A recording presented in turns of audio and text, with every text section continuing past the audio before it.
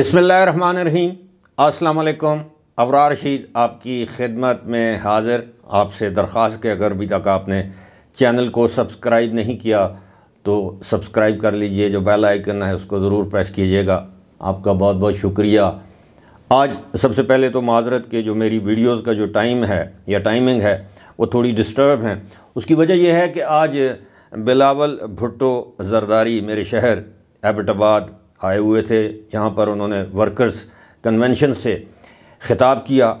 तो के बरअक्स आप इसे कन्वेंशन कहें, जलसा कहें, ये काफ़ी कामयाब था हाज़री के अतबार से। यानी एबटाबाद में कभी भी पीपल्स पार्टी एक मकबूल जमात नहीं रही। और पीपल्स पार्टी को वो मकबूलियत या कबूलियत एबटाबाद में हासिल नहीं, जो दीगर पार्टियों को है। किसी ज़माने में ये मुस्लिम लीग नून का गढ़ समझा जाता था एबटाबाद या हज़ारा। और फिर उसके बाद वो जगह ख़ास तौर पर एबटाबाद ने, वो एबटाबाद में वो पीटीआई ने ले ली। और आज जो बिलावल भुट्टो जरदारी का जो कन्वेंशन था, वो काफ़ी मैं समझता हूँ कि हौसला अफजा था। ख़ास तौर पर जो पीपल्स पार्टी के मुकामी जो रहनमा हैं, उन्होंने काफ़ी मेहनत की। चार्ज क्राउड हमें नज़र आया। ख़वातीन थी। लोग ढोल की थाप पर रक्स करते नज़र आए। जियालों में काफ़ी ज़्यादा जोश व खरोश पाया गया। जिए भुट्टो के नारे लगाए गए।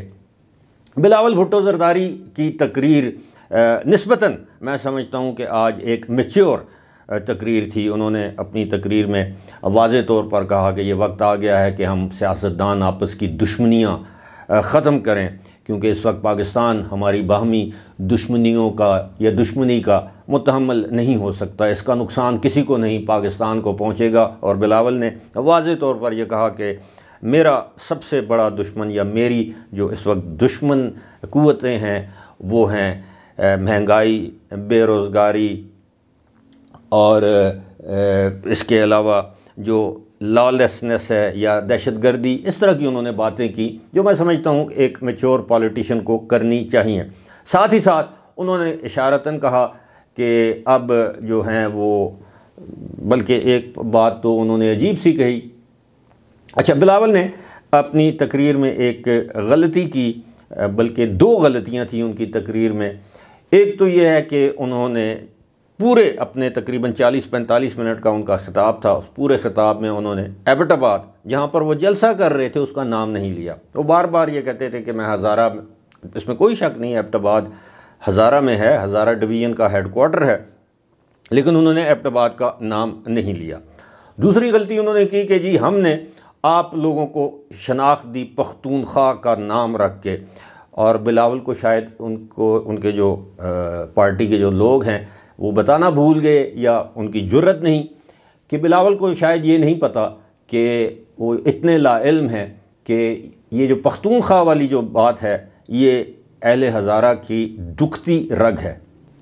उसकी वजह मैं आपको बता देता हूँ आपकी याद दहानी के लिए। ख़ास तौर पर वो हमारे दोस्त, साथी व्यूअर्स जो, जिनका ताल्लुक हज़ारा से है, चाहे वो कहीं पर भी रहते हों, कि अगर आपको याद हो तो 12 अप्रैल 2010 को सुबह सरहद का नाम तब्दील करने पर, खैबर पख्तूनख्वा नाम रखने पर, एबटाबाद में ख़ास तौर पर एक एहतजाज किया गया और पुरमन एहतजाज था जिसका मैं आई विटनेस हूँ ऐनी शाहद हूँ। और उस पर गोलियाँ चलाई गई और उस वक्त भी सूबे में पाकिस्तान पीपल्स पार्टी और अवामी नेशनल पार्टी की मखलूत हुकूमत थी। उस के नतीजे में उस दिन सात अफराद शहीद हुए। 120 अफराद 120 अफराद जो हैं वो गोलियाँ लगने से ज़ख्मी हुए। यहाँ तक कि एक शख्स जो मारा गया, वो मजजूब था। बेचारा सड़क पर जा रहा था, उस पर भी फायरिंग की। और सबसे अफसोसनाक पहलू ये है कि उस दिन, उस एहतजाज को रोकने के लिए जो पुलिस मंगवाई गई, वो मर्दान, सवाबी और चारसदा से पुलिस मंगवाई गई। और जो कि ज़ाहिर है ऑब्वियसली वो एबटाबाद की पुलिस नहीं थी। बाहर ये एक बहुत बड़ा सानिया है। कम अज़ कम मैं उसे नहीं बुला सकता, क्योंकि मैं उसका चशमदीद ऐनी शाहिद जैसे कहते हैं ना, मैं चशमदीद गवाह हूँ। बतौर रिपोर्टर में उसकी कवरेज कर रहा था, और उसके बाद भी हमने वो वो काफ़ी दिन वो एहतजाज रहा, पूरे हज़ारा में वो फैल गया। और पाँच छः दिन तक हज़ारा बिल्कुल जैम था। हर चीज़ बंद थी, ट्रैफ़िक, ना आ रही थी, ना जा रही थी, हर तरफ़ गिराओ जलाओ इस तरह की सूरत हाल थी, मखदूस सूरत हाल थी। आज भी अफसोस की बात है कि लोग साने मॉडल टाउन को याद करते हैं, वो इसलिए कि वो लाहौर में हुआ, वो तख्त पंजाब में हुआ, लेकिन हमारे हज़ारा के पॉलिटिशियन, सियासतदान, वक्त आने पर नाम तो ले लेते हैं सूबा हज़ारा तहरीक का या इलेक्शंस जीतने के लिए, लेकिन किसी की ये ज़रूरत नहीं कि वो कौमी असम्बली में ये सवाल उठाए सूबाई असम्बली में ये सवाल उठाए कि जनाब, ये एबटबाद में भी 12 अप्रैल 2010 को एक वाक़ हुआ था, एक सान्या हुआ था। बहरहाल, बिलावल ने जब ये बा, ये बात की, खैबर खैबर का लफ्ज़ भी इस्तेमाल नहीं किया, बल्कि पख्तूनख्वा का लफ्ज़ इस्तेमाल किया तो क्राउड में से सूबा हज़ारा के नारे बुलंद होना शुरू हो गए, जो कि वक्ता फ़वक्ता बिलावल की तकरीर के दौरान नारेबाजी होती रही और वो नारेबाजी यही थी कि सूबा हज़ारा सूबा हज़ारा सूबा हज़ारा।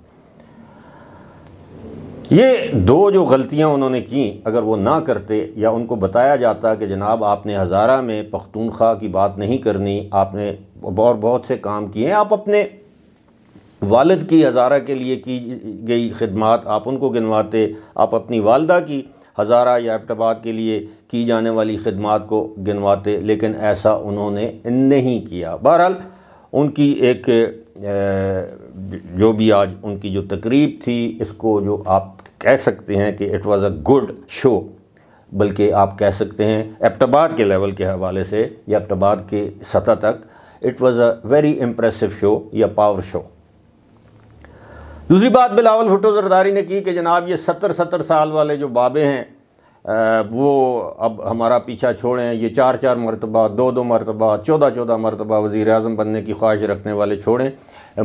मैं यंग हूँ मुझे मौका दिया जाए। अब पता नहीं वो किसे कह रहे थे, अवाम से कह रहे थे, किसी और की तरफ़ इशारा कर रहे थे।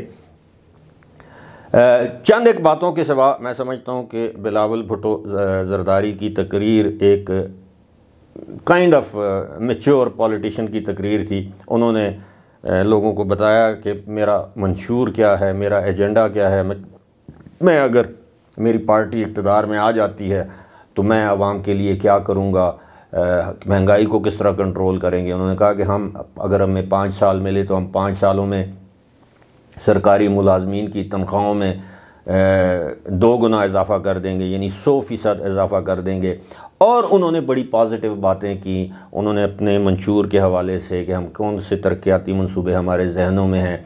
फिर उन्होंने ये भी कहा कि मैंने बतौर वज़ी ख़ारजा, मैं यंग था एनर्जेटिक था, इसलिए मैं कहता हूँ कि मैंने बतौर वज़ी ख़ारजा जो खदमात सर अंजाम दिए हैं सोलह महीनों में, माजी में उसकी मिसाल नहीं मिलती।